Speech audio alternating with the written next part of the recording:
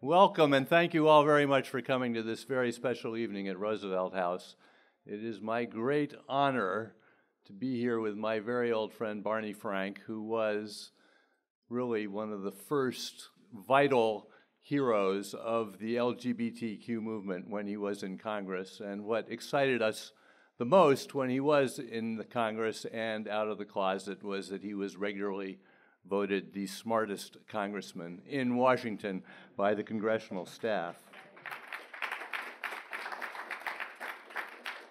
For nearly two decades, he was the most prominent gay member of the United States Congress, first elected to represent the 4th Congressional District of Massachusetts in 1980. He came out in 1987, and in 2012, he became the first member of Congress to marry someone of his own sex, and Nancy Pelosi was among the many celebrants at that wedding. As chairman of the Financial Services Committee, Barney was one of the two principal authors of the Dodd Frank Act, which brought about the most sweeping reform of the financial services industry in modern times. We have a stellar student panel who are going to ask gentle questions of the congressman after he's spoken. Andrew Shkreli is a Thomas Hunter Honors Jr. studying English literature Human Rights and Public Policy. He's a co president of Hunter's Queer Student Union. His goal is to attend law school and engage in the policy process through meaningful impact litigation.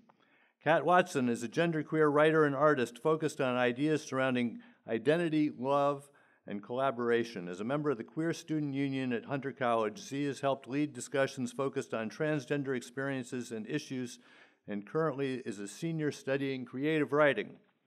Jackie Fennell is an LGBT student at Hunter College. As someone who is active at Hunter Hillel, she advocates to make the space more inclusive to LGBT students. She is majoring in political science and minor, minoring in geography and hopes to become a mental health counselor for geriatric patients. And finally, Sergio Mota is a senior studying in political science. I think he's the only other person on the panel who's already won for, run for a public office once. He's an Eva Kastan Grove Fellow at Roosevelt House, working with a mentor on the policy issues involving un, underrepresented communities in the census. Currently, Sergio works at a local law firm. He also serves on the board of directors for a nonprofit media company, Vero Communique. And my name is Charles Kaiser, and I'm the acting director of the LGBTQ Center, and I'm very glad to see all of you. And without further ado, my good friend, Barney Frank.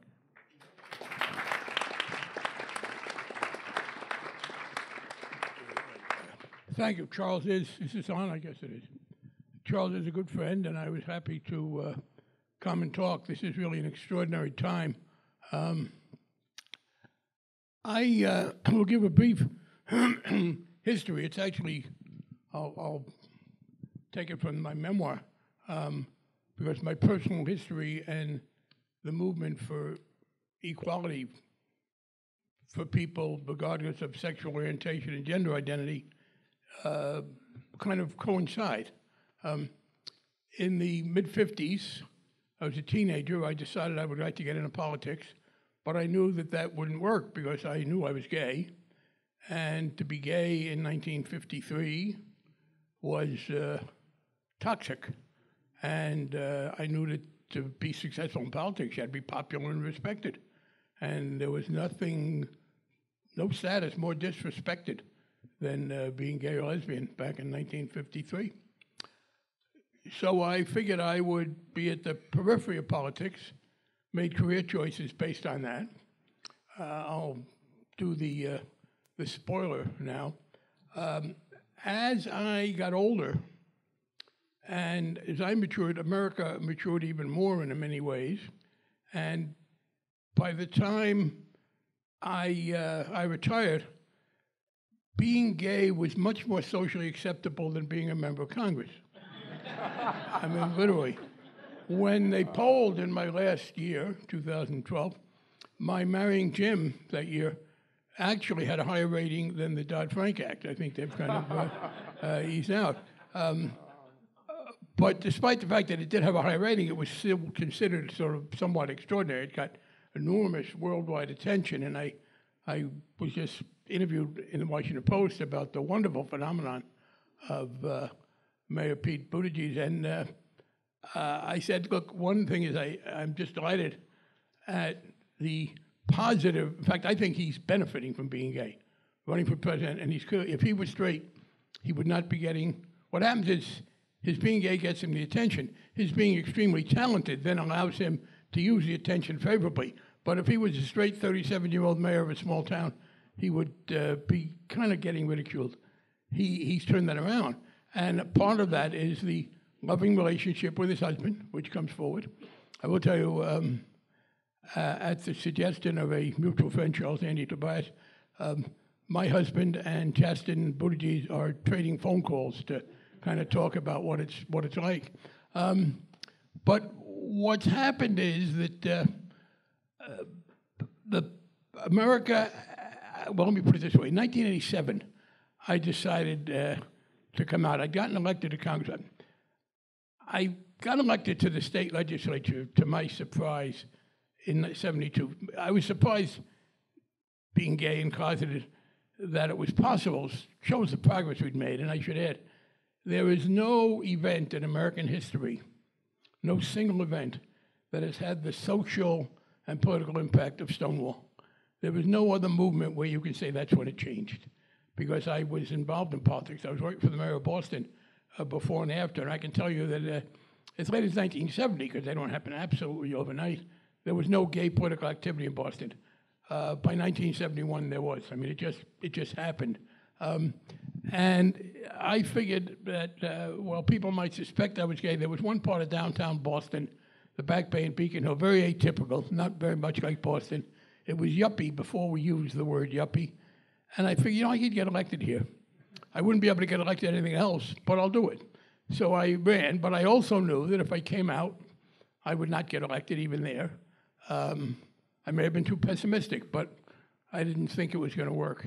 Um, and there was a period we had in American politics where if the first thing people knew about you was that you were gay or lesbian, you didn't do very well. But if you had established yourself and subsequently came out, if you were a Democrat, you weren't going to get repudiated. And I say that, and one of the things that is undervalued by a lot of middle class, respectable people is the role that partisanship plays. I didn't choose to make LGBT rights a partisan issue. The Republican Party did. And today, and for the last couple decades, there is no issue on which the two parties are more separated than on the question of fairness and equality. Um, and it, it's, it's even more pronounced now than it was uh, a, a, few years ago. But when I came out, uh, people said, well, you know, you better poll to figure out how are people going to react when you announce you're gay. So I said, okay, I'll have to do that. And a uh, couple interesting things.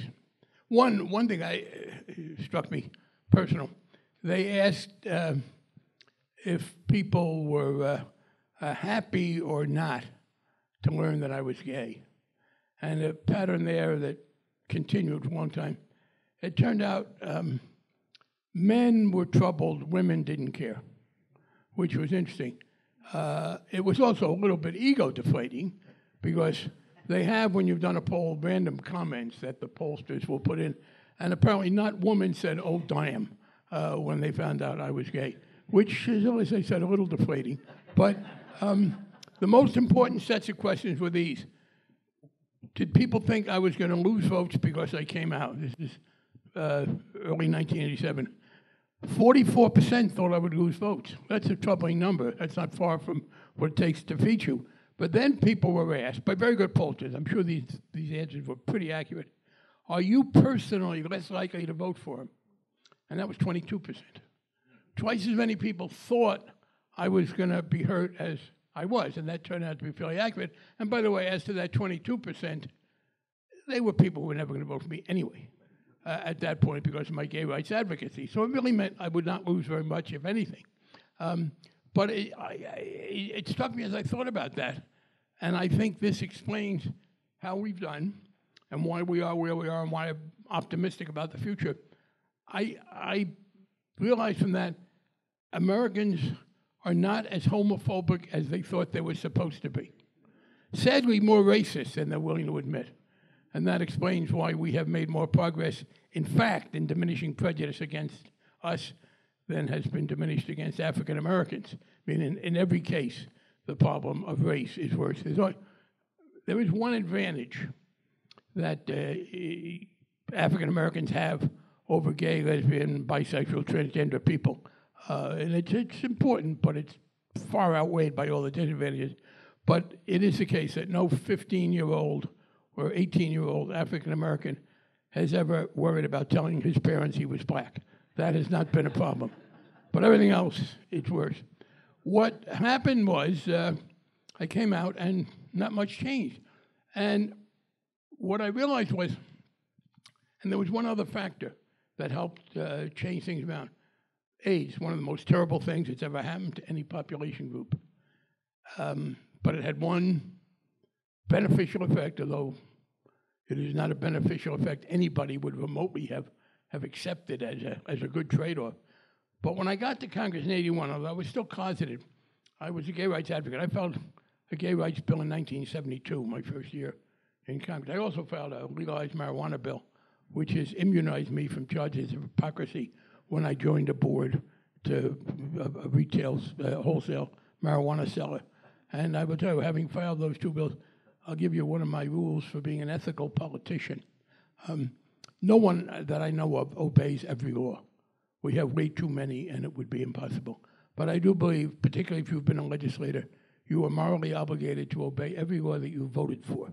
And I, I believe I can show that I have done that. But the, um, even if it lost, obviously, is a key. But um, I uh, would lobby other members of Congress to vote not pro-gay, but not anti-gay. The, in the 80s, it was still like D.C. passed a law abolishing the sodomy statute, and Congress used its power to override that. And when I approached members in the early 80s, I would be told, "Oh, pal, I, I, you're right. Though we shouldn't mistreat those people. They didn't know I was one of them, but they said, but you know what? It's not that big a deal. Nobody really gets hurt by this. And I'm not going to take the political heat for something that's purely symbolic. Well, uh, I realized they didn't know that it, that it hurt people because we never told them. I mean, this is why coming out was so important in two senses, the process of coming out. One was that people learned who we were and that they had all these people close to them who were uh, that group. But it was also the case that we, we hid our pain. Nobody knew what we were going through. We wouldn't tell them. Um, then came AIDS that forced a lot of people out. And it also forced my colleagues to confront the reality that if they did not vote against anti gay measures, they were going to kill people. Because there were measures that would have interfered with the research, would have interfered with San Francisco General Hospital and what it did. And I began to get members whom I was lobbying saying, oh, damn, I, I guess I have to vote with you because of this, especially I was out by then. And uh, what happened was, and this again confirms it, again, this is in support of this basic thesis that the public was not bigoted but thought it was supposed to be. As members of Congress, for the first time in large numbers, voted against the anti gay measures, and we defeated most of them, they were all reelected. Nobody got defeated. It was further confirmation. And as we went forward, that promoted more and more people to come out. Uh, we, we have reached that point. So we are now at a point, I believe, as I said, there's a partisan division. Um, if you are a Republican politician and you come out, you will not survive. You will lose in intra party measures. But in terms of the general public, uh, we have not just the mayor of South Bend, we have the governor of Oregon, a senator from Arizona, um, the governor of Colorado, mayor of Chicago, an African American, um, and the uh, a number of members of Congress. It is at the point where it is uh, very, I don't think it's much of a political issue. It is still the case that I do not think a lesbian could get elected to Congress in Mississippi. Neither could a sensible white person in, in most of Mississippi. I say that because there is one African American. The, the, the African Americans will, will vote for reasonable people in the South. But I think we have made overwhelming political progress. I think we are on the verge of this becoming irrelevant. Now, it's geographic. Um, there are still parts of the country where there is a, a, a license to be prejudiced. Even there, I'm somewhat encouraged that I'd say this, and I'll finish up. Um, we have achieved legal equality in most cases, in most senses.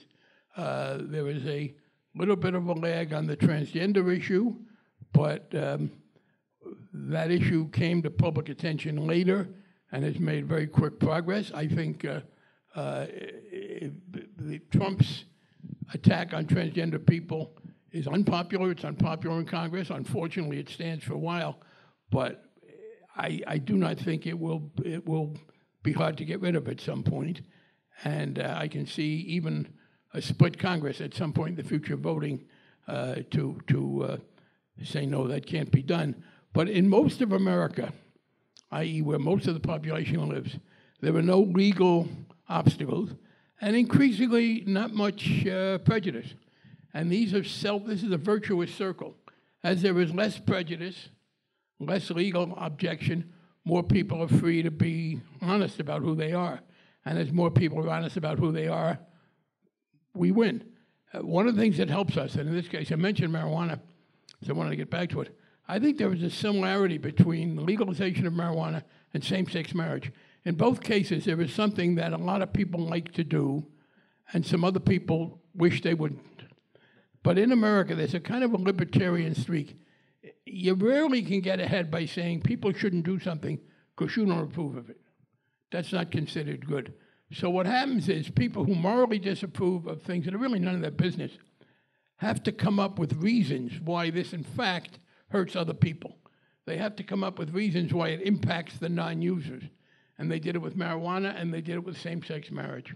There was a great billboard somewhere in Manhattan I used to see coming in from the airport that said, if you are opposed to same sex marriage, don't enter one. that was the best answer. But the, um, what happens is this in both cases, again, there's a vicious cycle. Um, people say, respectable people say it'll have negative consequences. So people who don't know say, well, you know, I don't really object, but it could have negative consequences. I'm not going to do it. People aren't ready to take social experimental risks. So you don't have same sex marriage. You have marijuana being illegal. And then some jurisdiction somewhere breaks through and allows it. Massachusetts in 2003 on marriage, Colorado and Washington most dramatically on marijuana. And what happens is, it turns out no, there are no negative consequences. People made all that stuff up.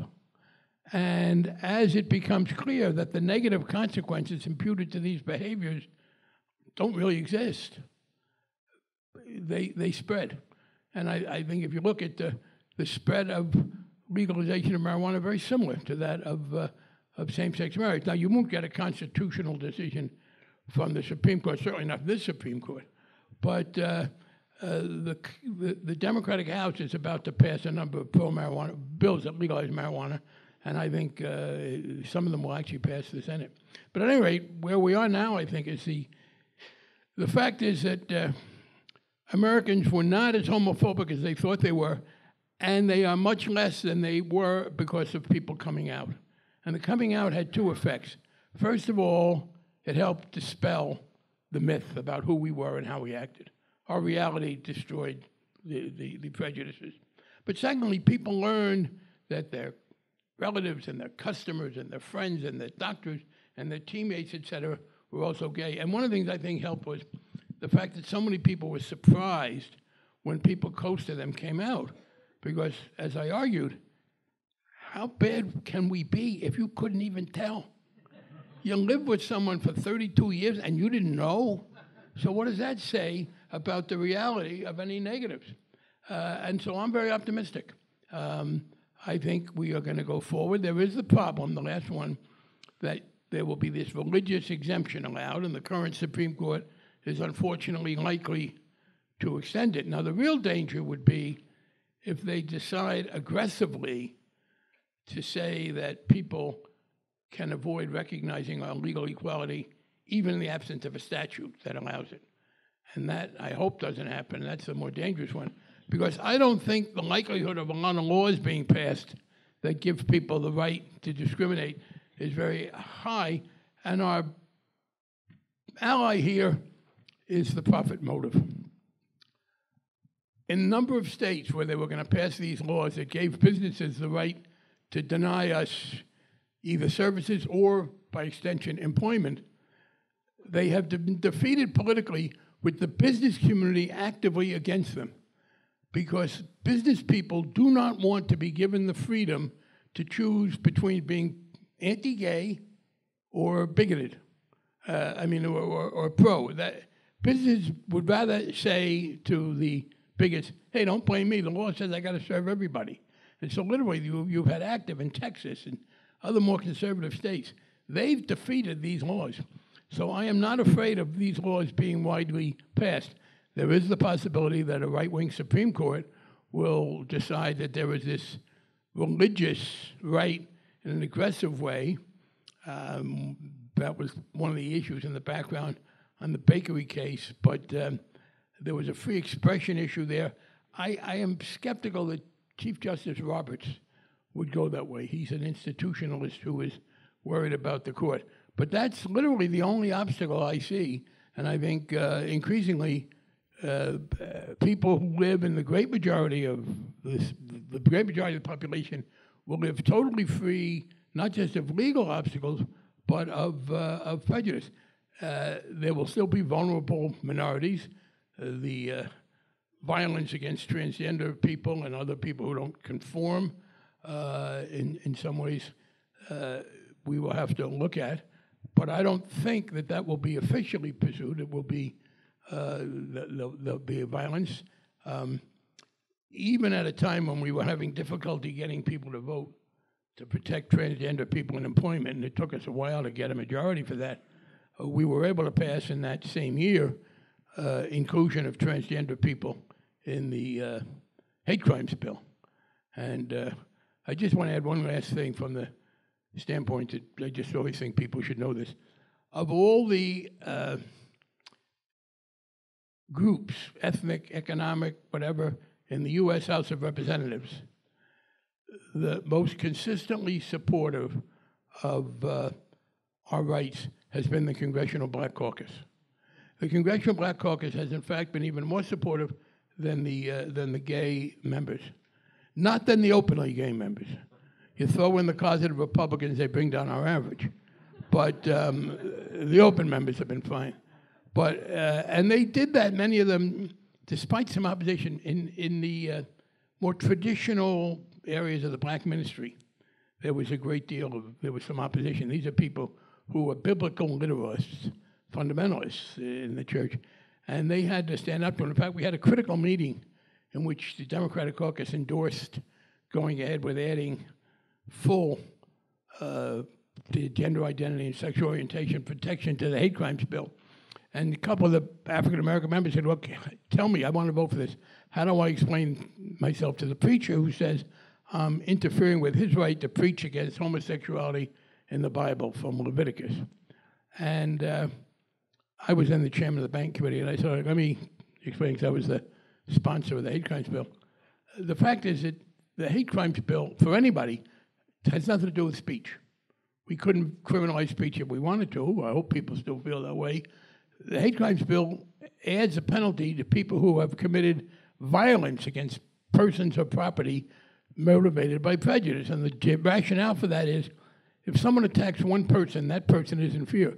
But if someone attacks one person and makes it clear that the basis for that attack is a broader category, everybody in the category is in fear. There's a rational reason to want to deter that. Um, but I said, I do, I do want to explain nothing in this bill will criminalize any speech or will prevent anybody, clergy or not, from being critical of us. I said, let, let me summarize it this way. If this became law tomorrow, it would still be entirely legal to call me a fag. I just wouldn't recommend it to people in the banking business.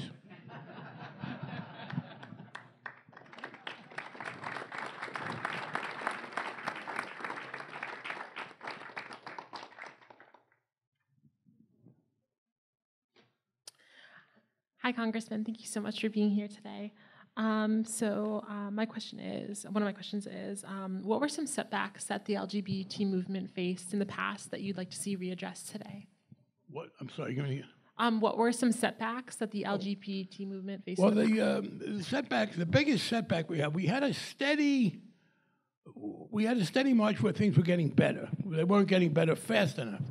Um, I will say this.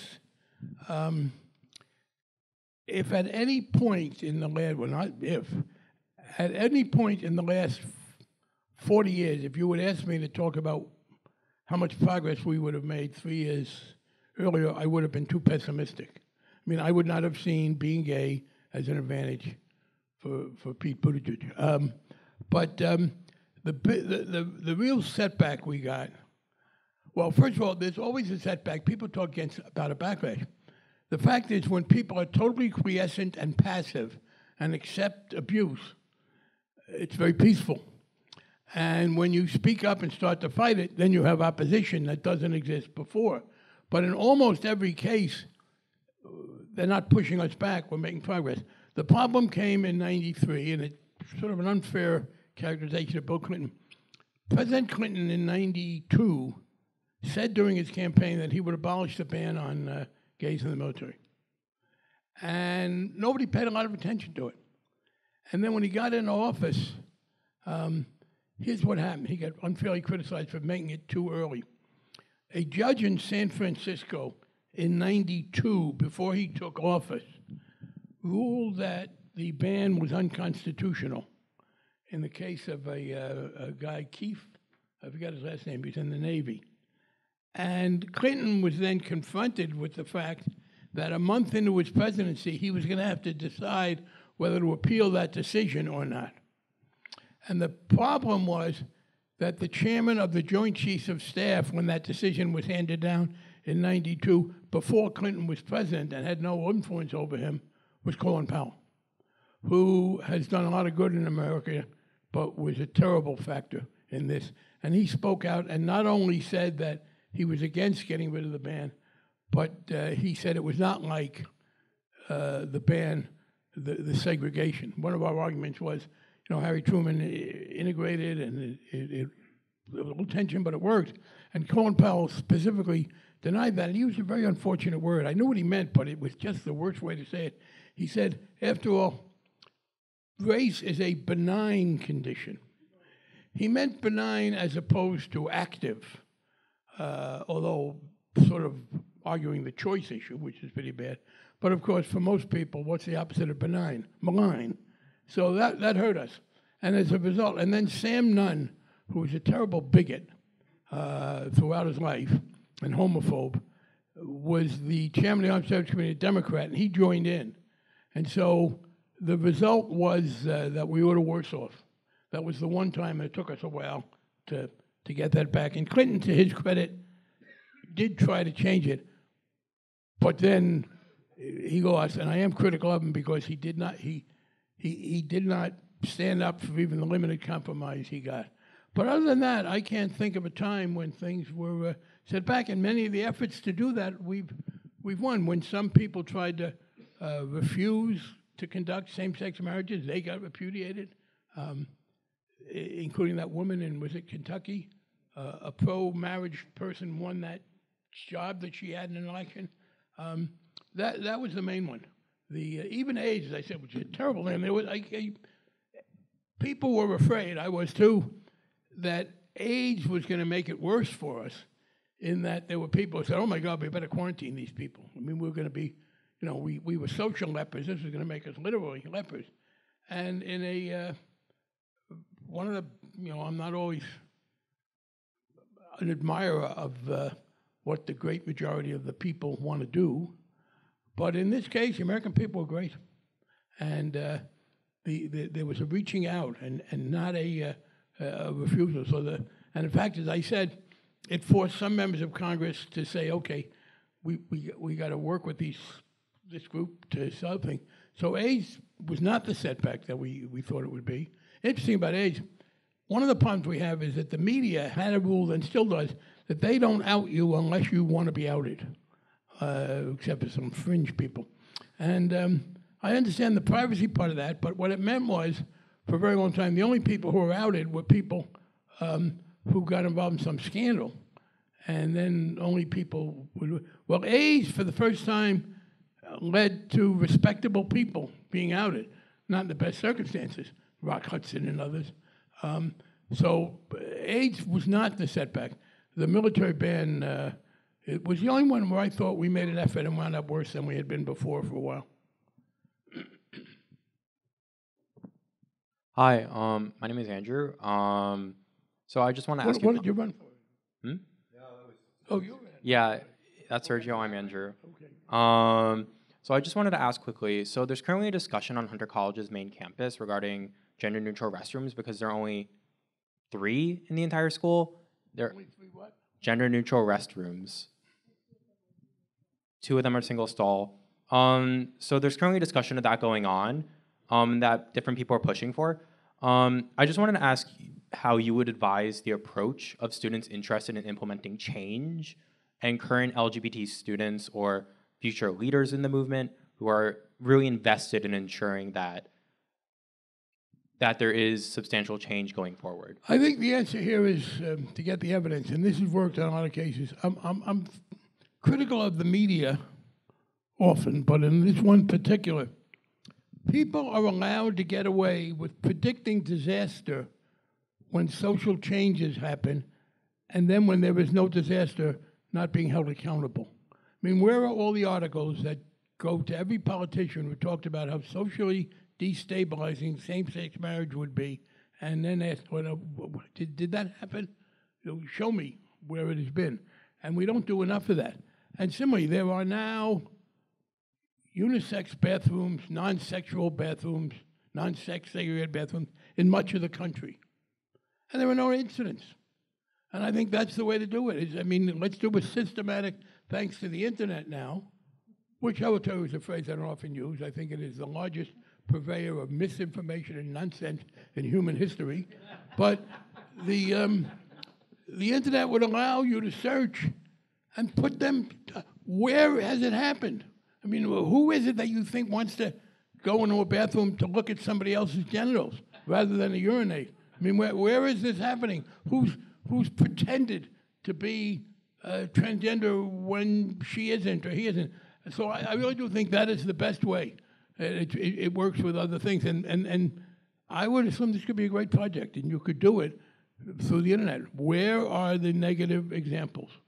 And uh, I, I don't believe there is.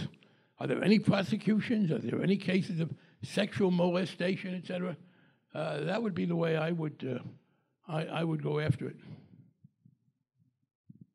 The other thing I ask, although I know it's a little bit demagogic, but I, part of it is people just feel, ooh, icky. You know, they don't like that. So I ask, okay, how many people grew up in a house with a men's room and a women's room?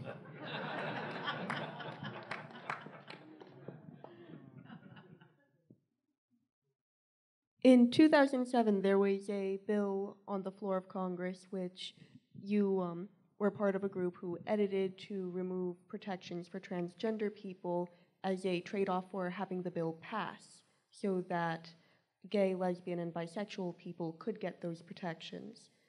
Um, looking back on it, hindsight being 2020, do you feel differently at all? And given the current political climate, do you think that if that bill came around today, if it could go differently? Oh, it would go differently, but I don't feel. Uh, I think one of the reasons it would go differently is with, that we did what we did.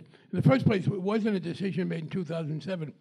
The first bills to end discrimination in employment based on sexual orientation, none of them included transgender because nobody was paying much attention to transgender until well into the 2000s.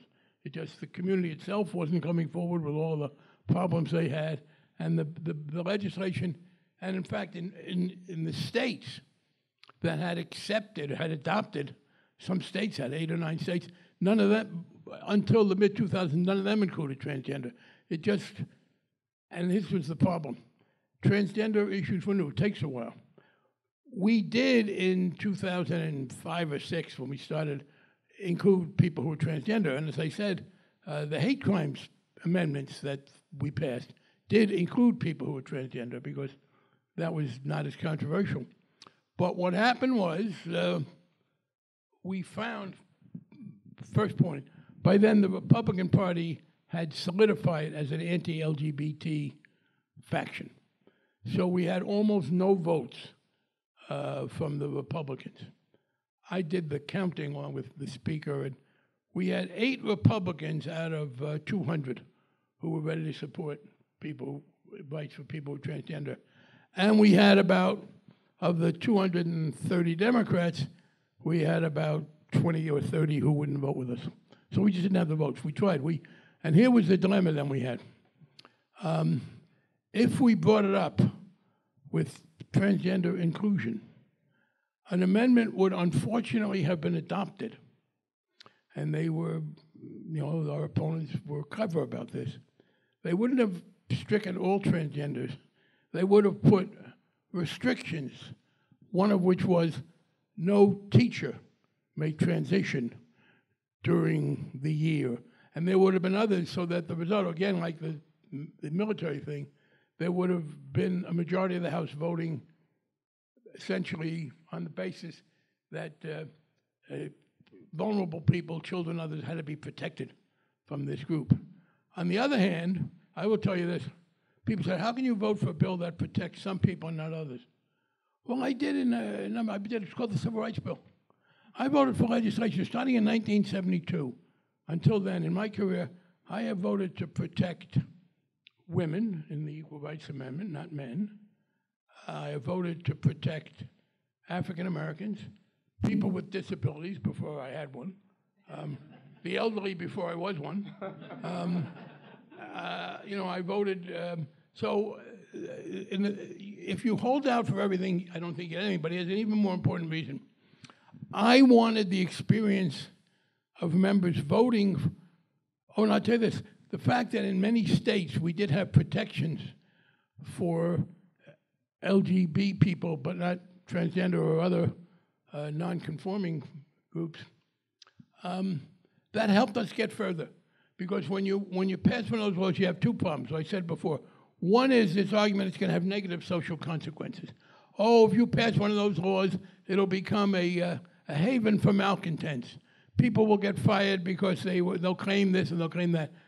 The argument was that these will be over enforced and be too intrusive. The sad fact is, many of you probably know this, anti discrimination laws are very hard to enforce and they are under enforced. What happens is you pass an anti discrimination law and you catch the people who said fag and nigger and dyke before the law passed. And then the law passes and the lawyers say, don't say that. And find some other reason why you don't want them. And it's hard to prove it because that's the American system. So we did think that having in place laws that protected on sexual orientation would help us defeat the argument for adding transgender. Um, we would have taken that up again in 2009 and 10 and tried to deal with it. The problem was that the priorities then were, uh, uh, according to people in the community, not employment at all for anybody, but the uh, military and marriage. And we worked on, uh, on those. And then um, we didn't have a Democratic House until then. But the House is about to pass a very broad bill for uh, full legal equality uh, that's totally inclusive of any sexual minority. And I think one, the last I heard, the guy, Dave Cicilline from Providence, was himself uh, gay and out and was the mayor of Providence. He, um, he's, he's been the main sponsor. He told me there's one Democrat who's not voting for it out of 230 something, and we'll probably get a handful of Republicans. But the problem was in 2007, we, was, the reason it was taken out of the bill was it would have lost, not just lost, but it would have resulted in a, uh, an anti-trans statement being made. And so then the question is, are you better off with something or nothing? And I will tell you this, and this is, if the bill could have become law, what we do, it wasn't. Um, I think something's better than nothing. If you can protect millions of people, not everybody. Now, I'll take the last argument, which is valid in theory, but I think not in, in, in practice. Well, the argument was if you pass the bill to cover uh, LGBT people, there won't be enough support left to go the further step. And I think our history is the opposite. That, in fact, people don't forget about the others, and the experience of, of a partial victory helps move on. So earlier uh, in your conversation, you mentioned the importance of, the caucus, the importance of uh, having um, other individuals in the movement um, support uh, key initiatives. So how is how is now um, in terms of an LGBTQ plus community, um, the the movement as we've seen in Stonewall, the movement that we've seen uh, increase in the decades how is it important that uh, the community embrace other issues such as uh, gun uh, gun control, um, and where do you see the future of that? Well, I, I would differentiate. Um, I, I think people ought to be free to be for whatever they want to be for. I do think, though, you should you should be careful to extend the principle which you are claiming for yourself to everybody else. That is, you know, gun control does not involve discrimination against maybe against living people, I suppose. But um, what what we're saying is we should be free to be treated equally without regard to these personal characteristics. I do think yes, that obligates you to be for racial freedom and, and for other kinds as well, because you, you can't claim, I think, a right that you denied other people. And I do think we, we benefit. It's also the case, by the way, that there's a a political logic to it because the fact is it's the same people who are supportive of uh, in, in, both cases. But I don't think there has to be uh, uh, a party line on on other issues. If there are, I, I do think this: if there's a candidate running for office who's very pro uh, sexual orientation and gender identity and other sexual minorities, uh, but he or she is anti-black, I don't think that person should be supported. Uh, similarly on abortion, because that's very important to women. But if the person is for um, not for gun control, I don't think that's a disqualifier for gay and lesbian organizations. I think it's a question of you, you, you should not support someone who is going to deny to any group the rights we claim for ourselves. But a difference over the tax rate doesn't disqualify someone. Now, I probably wouldn't want to vote for him on other grounds, but I, I, I don't think uh, that should be the GLBTQ issue. So um, during your time in Congress, were there what were some moments when you felt um, the intersection between being gay and Jewish? Oh, I felt that early on. Um, I uh, I realized I was gay around the time of my bar mitzvah in 1953, literally, and um, I uh, later I had a very interesting conversation with a man, and um, now's a chance for you to start working with old people's mental issues because I'm having a lapse here.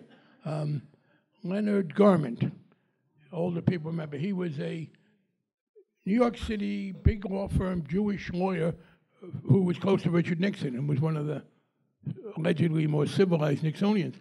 And Len Garment was a Jewish guy who was blonde and blue eyed. And um, he and I talked at some point after he got the Nixon administration about the similarity of being gay and being Jewish in America.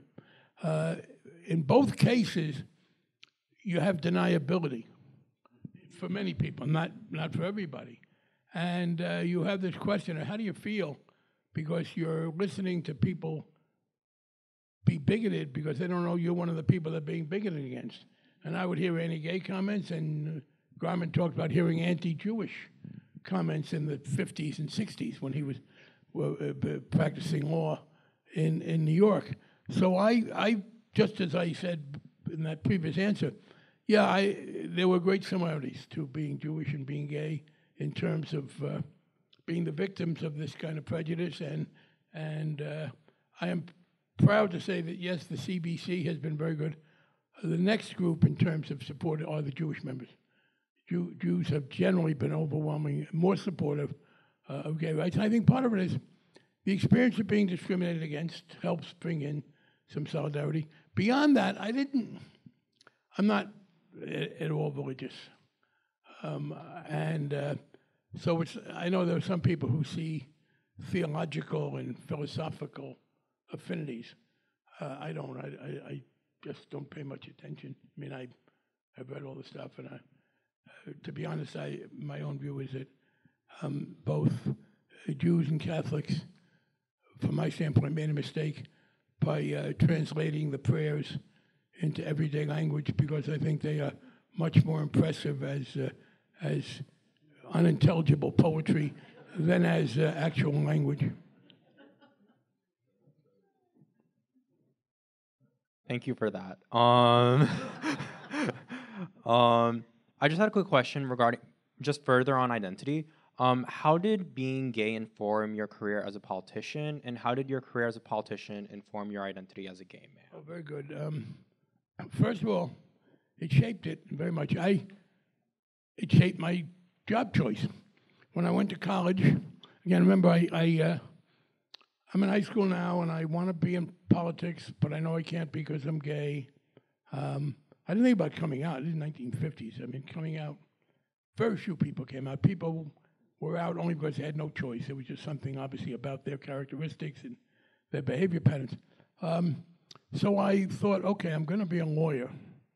And I got to college and I thought about this, and it struck me, you know, the best way, if I'm a lawyer, I'm out in the world, and I'm not married, and um, people are going to figure it out, or, uh, and, and it's going to be very hard to kind of dabble in politics. The model I chose when it was being gay said, "This is what I better do." I uh, was in college during John Kennedy's election, 1960, and he set the pattern of taking people from the academic community and giving them important positions. There'd always been academic economists, but he had people doing non-technical jobs. And I thought, now that works well because the university is a much more tolerant place than the world at large. You know, there were people who I knew in the faculty who we assumed were gay, and it was much less judgmental. And um, so I said, here's what I'm going to do. I'm not going to be a lawyer. I'm going to be an academic. I'm going to go to graduate school, get a PhD, teach, and then every so often take a couple years and go into politics and come back. That that would be the, the way to do it. Um, I would tell you that I, I ultimately had to decide at some point. Um, well, that, that's what I was doing. I then got involved. Like I, I was asked by the man who got elected mayor of Boston in 1967 to go to work for him. His name was Kevin White. He, I didn't know much about him, but he ran against a vicious, terrible, explicit racist named Louise Day Hicks. So I helped him out, and we hit it off. And he persuaded me to come to work for him. I said, "Well, I can do this for a couple of years, and I got to go back and I got to write this PhD thesis." So I worked for him for a few years, and I went back to school to write the PhD thesis. And at that point, I discovered, um, in the first place, this is now after Stonewall. So I thought, well, you know what? I, this is not going to be as bad as I thought it was. I mean, that's where Stonewall was so important. Before I, before Stonewall, it was just unthinkable that you would tell anybody that you were gay unless this was part of an effort to have relations. I mean, it just Dwight Eisenhower was this benign father figure in 1954 promulgated an executive order that said we could not get a security clearance.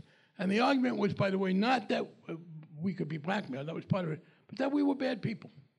We were the rotten apples that would spoil the, the barrel. Um, in fact, I was so infected by this, so I'll take a little longer, but one of the things that struck me that made me want to get into politics were the hearings involving Joseph McCarthy's effort, the senator, the right wing demagogic, career destroying senator, to punish the Army because they wouldn't give his aide, Roy Cohn's boyfriend, David. Well, Schine didn't think he was Cohn's boyfriend, but Cohn did. And, um, and uh, he was punishing the Army for this. And at one point, the Army hired this very good lawyer from Boston named Joseph Welch. They still have it. It was called a kinescope. It's um, point of order. It's a wonderful thing to watch. And um, at one point, Welch is in a duel with Roy Cohn, who was a very gay and denying it, and just one of the worst people. I mean, he didn't commit mass murder, but in people who did not commit a lot of murders, he's the worst one I can think of. and um, he, um, Welch is asking him how he leaked something that he wasn't supposed to. And Welch was getting it done. He said, Well, Mr. Cohn, where did that come from? How did that appear? And Cohn said, I don't know. He said, oh, Mr. Cohn, are we supposed to believe that it was brought forward by a pixie? So McCarthy at this point is trying to intervene to help his friend. And he figures he's got an opportunity. He said, oh, Mr. Welch, a pixie. Uh, I'm, I'm not sure. We need to have that term defined. W- what is a pixie, Mr. Welch? And Welch, looking right at Roy Cohn, says, some of you will remember this, a pixie, Senator, is a close relative of a fairy. it was a devastating use of homophobia to hurt Cohn. And as a 14 year old gay teenager, I cheered Welch for saying it, even though I realized it was fully homophobic, because that's where we were. The point of, you know, this was, this was such an uphill battle, why bother trying to fight it? Um, but by 71, when I had retired from the city and gone back, you know, it may be possible not to win office, but to be gay and sort of survive, you know, it's not as bad. Um, and at that point, I was asked by a uh, friend of mine who was a member of Congress I wanted to go down and be his chief of staff. And the point was, at that point, I had to decide did I want to be a politician or an academic? And I thought, you know what, I can survive as a politician. Any gay prejudice has diminished. And I then chose to be a, uh, a politician again. So that, you know, being gay was no longer as much of a, a career mover. And I did it, by the way, in part because of a characteristic I have. Uh, one of the things I try to tell people who ask me for career advice, and I'm reluctant to give it, but you shouldn't pick a career because you think you're supposed to. I mean, uh, you can't live holding a gun to your own head. It's like that scene in Blazing Saddles. Uh, um, the, the, if you really hate something, you're probably not going to be very good at it.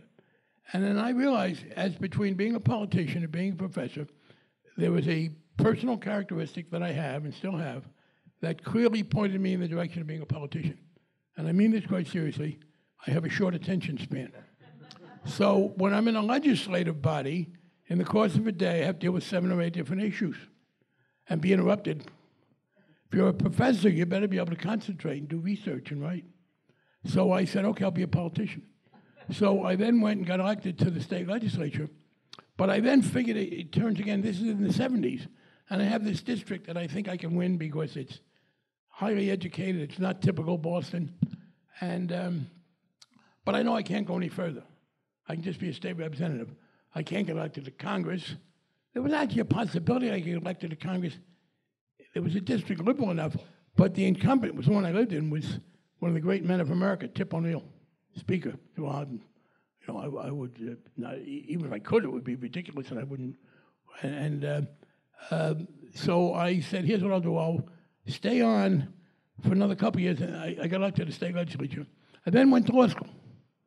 I, I, I went back to law school saying it, it's safe to go into the real world now because it's clear that it's not as homophobic as it used to be. And um, I uh, started coming out in the late 70s. Uh, I was coming out at that point retail. And I, I don't you know how people's experiences differ but you would hear violins playing in your head, and you would have a serious conversation with my siblings at three, and my closest friends, my political allies, and I told them I was gay, and some of them were surprised, many of them weren't. I was out by that time to all the other gay people that I was working with politically, and I was planning, okay, I'll, I'll run for one more term in the state legislature. I'd pass the bar exam, and I will come out, and I will be, in the first place, a gay person with more political experience than most. I've had 10 years as a state representative, and I will make a lot of money as a lawyer, but also be an advocate for, for uh, let me just say, um, gratuitously. Attacks on Bernie Sanders because he made money are really unfair and stupid. Um, I, he, he's entirely right to be indignant.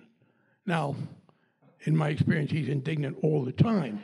but in this case, he, he is right to be indignant. But um, the um, I decided, okay, I'm going to come out and and uh, and be you know a leader in our gay rights movement. And then um, the Pope intervened. The member of Congress in the district next to mine, which was also pretty liberal, so I only lived a mile away from it, was a Jesuit priest named Robert Drinan, who had been the dean of Boston College Law School. And he'd served for 10 years. He'd gotten elected as an anti-war candidate when the new Pope came in, he was very liberal, and uh, but the Jesuits defended him. He was a Jesuit, and the new Pope came in. John Paul II was very conservative, and he uh, was lobbied by American conservatives. A right-wing congressman named Robert Dornan was one of the leaders. Uh, he is otherwise best known because his uncle Jack Haley. Anybody know why he was famous? He was the Tin Man, right, in The Wizard of Oz. Um, but uh, the Pope ordered Drinan not to run again. And uh, I had become a prominent, uh, interesting, freedom, another word for nothing left to lose. In the 70s, it was when liberalism was retreating. Ultimately gave it to Reagan. Um, so a lot of liberals were pulling in their horns because they were going to want to run for other offices, and they figured if they were too liberal, they couldn't do it. I knew being gay, I couldn't win anything else. So I suddenly became the leading liberal by process of elimination. I mean, they just other people, you, you, you do that, we'll, we'll support you. And um, he was this liberal who was kneecapped by the Pope. And uh, a lot of liberals said, we, we, you run, let's show the Pope. No, yeah, he doesn't want a Jesuit, let's give him a gay Jew. um, although, you know, the gay part that later uh, came out, uh, Drinan always said he wanted to ask the Pope, did that work out the way you would you expected? But um, the um, I ran one and figured, okay, I can uh, I can do this. But I made the decision that I would have to be closeted. I stopped coming out and you know sort of remember saying to my brother-in-law, I called him and said, he just heard the closet door slam because Drinan's not running and I'm going to run.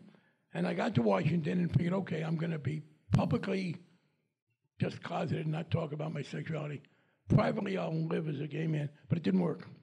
You can't be prominent and have that kind of a secretive social life, so I behaved stupidly, uh, pursued sex in the wrong way, and it's finally I said, you know what, this isn't working, and I'm going to come out. I don't care what happens. I mean, I care, but I, I can't keep staying this way. Little side issue. Some of the most best known liberal members of Congress at the time, because people began to realize it, it was known I was gay, they heard I was thinking about coming out. And they, my liberal friends all said, please don't do this because you will diminish. Yes, you will diminish your uh, ability to, uh, to be effective. Including Pat Schroeder and Ron Dellums and some of the best people ever. Wow. Because they said, you're a great ally and we don't want you to be pigeonholed. And I said, you know, that might happen. I can't deny it, but I can't live this way. This is nuts for me personally. I mean, I, I, let me just another aside. People say, oh, of somebody, he or she is so into work that, that, that uh, she doesn't need a private life. Crap. Everybody has personal, psychological, and physical needs that you cannot deny. And if you deny them, they get channeled, and you make that your work life, you become miserable, not just to yourself, but a, a lot of the crabbiest people we know are publicly. I understand that the reason is that is, is that they were suppressing their sexuality so much. But um, so I, I did come out, and after I did, many of those same people said to me, "We were wrong. You're better at the job now because you're not so angry anymore, and it's a very interpersonal job." We will continue the discussion upstairs with a glass of wine. Please give this great gay Jew and the panel a big round of applause.